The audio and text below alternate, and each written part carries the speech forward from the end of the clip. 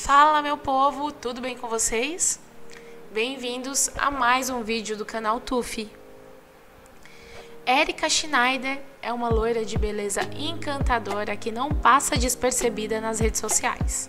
Recentemente, ela resolveu atualizar sobre sua viagem e surgiu belíssima, dando o que falar entre seus seguidores.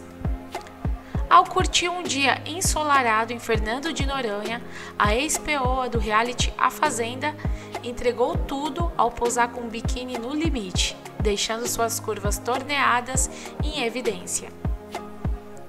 Nas imagens, a influenciadora esbanja sensualidade e beleza ao renovar o bronze em um cenário tropical. Ela não se intimidou e pousou de lado e evidenciou o bumbum, além também da cinturinha fina e seu abdômen para lá de definido. Nos comentários da publicação, fãs e admiradores de Erika não contiveram nos elogios. Rainha do close certo, você alegra meus dias com esse sorriso. Uma obra de arte. E por aí vai. Realmente, essa mulher é maravilhosa, né, gente? E aí, o que vocês acham dela?